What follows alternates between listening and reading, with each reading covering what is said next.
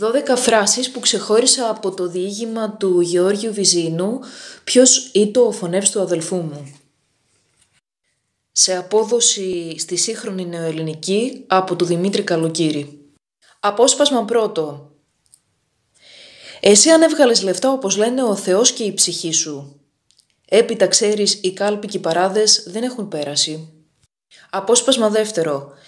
Αφού δεν το είδες με τα μάτια σου, του είπα, τι σε μέλη και τον κακολογάς. Κάθε αρνή κρέμεται από το ίδιο του το ποδάρι. Απόσπασμα τρίτο. Χωρίς άλλο ήταν το αίμα, γιατί λένε πως όποιος σκοτώσει άνθρωπο και δεν σκεφτεί να γλύψει από το μαχαίρι του το αίμα, ή θα στοιχιώσει ή θα τον πνίξει κάποια μέρα ή θα τον βασανίζει, μέχρι που να το ομολογήσει και να τον κρεμάσουν. Απόσπασμα τέταρτο.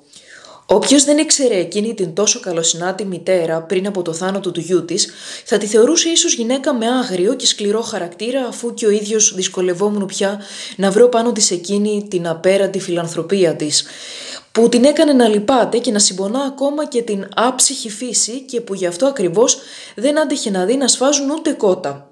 Και μιλούσε μεν για εκδίκηση, κυρίως όμως εννοούσε δικαιοσύνη.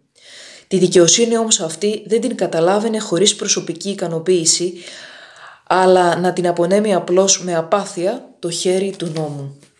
Απόσπασμα πέμπτο. Εσύ είσαι διαβασμένος άνθρωπος, μου έλεγε και ξέρεις του Θεού τον νόμο. Ακόμη και μια πιθανή τόπο να είχα, όλοι και όλοι μέσα στον κόσμο, και ήξερα πω η ευλογημένη γυναίκα που φρόντισε το ορφανό μου 7 μήνες στο στρώμα του παιδιού της βρίσκεται εδώ πέρα ξένη, και δεν της έδινα το μαξιλάρι του κεφαλιού μου να πατήσει το ποδάρι της, δεν θα κλείνω ο Θεός την πόρτα του ελέους του στην προσευχή μου.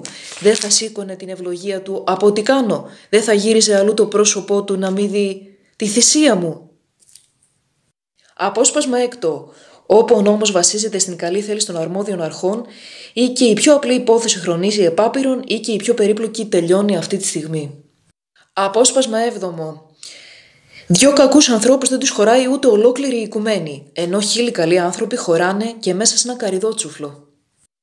Απόσπασμα 8 μου έλεγε τόσος σοφός και σπουδαγμένος που ήμουν, δεν έγινα ειδωλολάτρης άπιστος, αλλά πίστευα με όλη την καρδιά στα παραμύθια.